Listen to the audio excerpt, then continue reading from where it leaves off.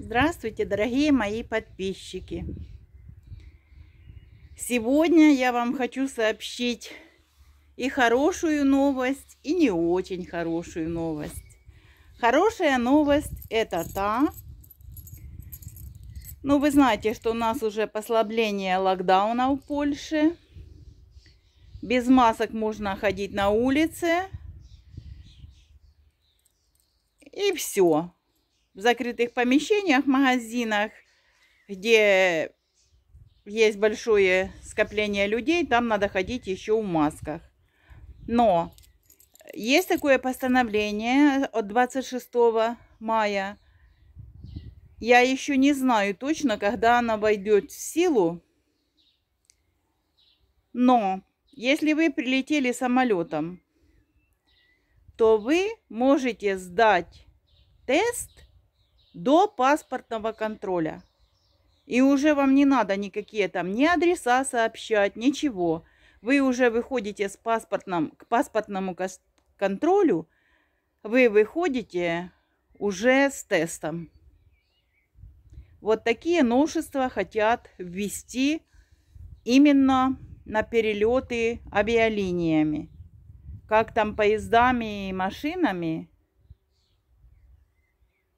не ясно еще. Но на самолет вот такое вот постановление. Еще в июне месяце тоже будет какое-то послабление с этим локдауном. Ну, посмотрим, что они там еще придумают. Потому что с вакцинацией придумали лотерею. Будет лотерея миллион злотых. Это кто выиграет эту лотерею, но надо делать прививки. Потому что, наверное, вот эта уже фаза такого, знаете, интенсивного прививания закончилась. И вот хотят сделать эту лотерею и миллион злотых выиграет тот, кому посчастливится и кто сделает прививки. Прививки уже, уже детям делают 16-15 лет. Уже все идет и будет ниже ниже. Сначала сделали только сеньорам этим. А теперь вот такую вот программу включают.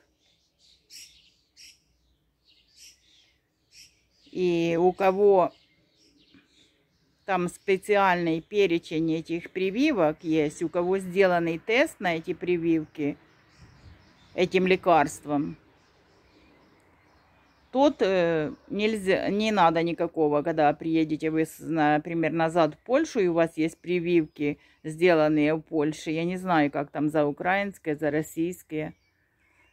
А если вы сделали прививку в Польше, и вы возвращаетесь с Украины в Польшу, там, если вы подпадаете под этот перечень э, прививок, вам не надо никакие тесты делать. Вот так вот кратенько я вам хотела рассказать информацию, которая, так сказать, нам облегчит жизнь всем.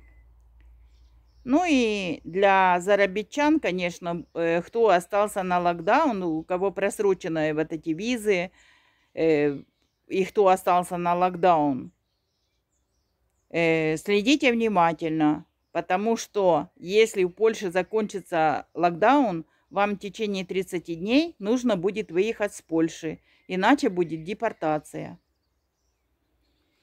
Я думаю, что я понятно объяснила. Понимаете, вот кто заехал в Польшу по рабочей визе, по биометрии когда-то и попал под локдаун и остался в Польше до сегодняшнего дня.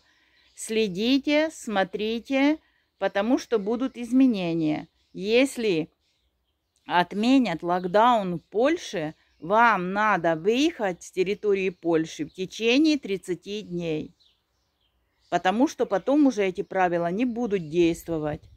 И вам тогда будут неприятности на границе. Так что следите. Следите за информацией. Они как эту информацию начинают говорить, говорят ее очень многократно. Вот такие вот краткие польские новости. Хочу я вам, то есть хотела я вам рассказать, дорогие мои подписчики. Подписывайтесь на канал на мой, ставьте лайки. С вами была Украинская Полячка.